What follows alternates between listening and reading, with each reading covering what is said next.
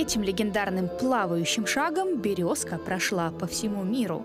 Кажется, что крутится пол, но на самом деле это результат долгого оттачивания техники. Этот элемент танца уникален и неповторим.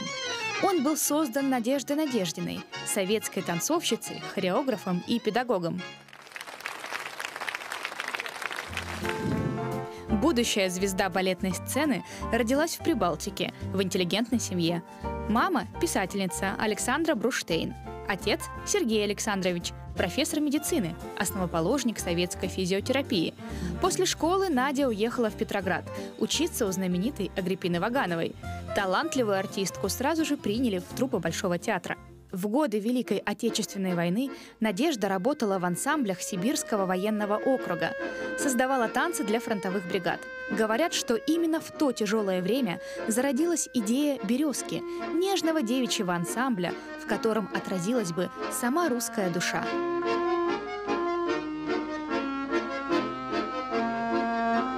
1948 году коллектив, созданный Надеждой Сергеевной, выступил на фестивале талантов в Москве. 16 молодых колхозниц из Калининской области вышли на сцену под песню «В ополе березка стояла». Зрители впервые увидели оригинальный плывущий шаг. Слава девичьего хоровода, ни на кого не похожего, разнеслась по всей стране. Вслед за первым хороводом балетмейстер поставила и другие номера. Карусель, сударушка, лебедушка, сибирская сюита. Это были не просто танцы, а настоящие хореографические новеллы. Через несколько лет в «Березку» начали принимать и мужчин.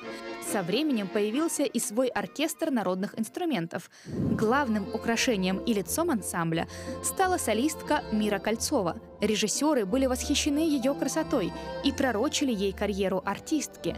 Но девушка твердо решила – ее сердце принадлежит «Березке». После ухода из жизни Надежды Надеждиной она возглавила ансамбль и руководила им более 40 лет, вплоть до своей смерти. Свое последнее интервью Мира Кольцова дала нашему телеканалу. Если кто-то, пришедший к нам в ансамбль, что-то в жизни недополучил, то получал так много, чего недополучил в глубоком детстве. «Березка» – это сама по себе огромная книга «История нашей страны», прошлого, будущего, настоящего и, конечно, далекого будущего. Сегодня, чтобы попасть в коллектив, нужно не только хорошо танцевать, но и петь, да и сыграть на сцене любую роль.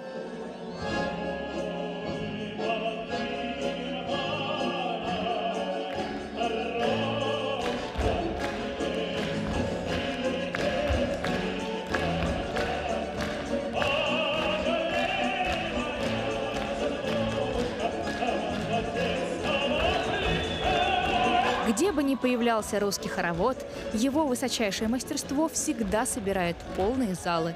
Творчество ансамбля «Березка» имени Надежды Сергеевны Надеждиной востребовано во всем мире. Мы находимся на гастролях большую часть времени, чем в Москве. Например, сейчас мы находимся на гастролях в Китае, а осенью у нас запланирован большой гастрольный тур по городам Сибири. С 2000 года ансамбль «Березка» носит имя своего создателя – Надежды Сергеевны Надеждиной. Здесь по-прежнему чтут традиции легендарного балетмейстера. Но «Березка» – это не только талантливые исполнители, это большой, сложный организм, более ста человек – педагоги, администраторы, художники по костюмам. И от работы каждого зависит общий успех. Секрет долголетия ансамбля в преданном служению нашему делу, русскому народному танцу. В этом вся наша жизнь.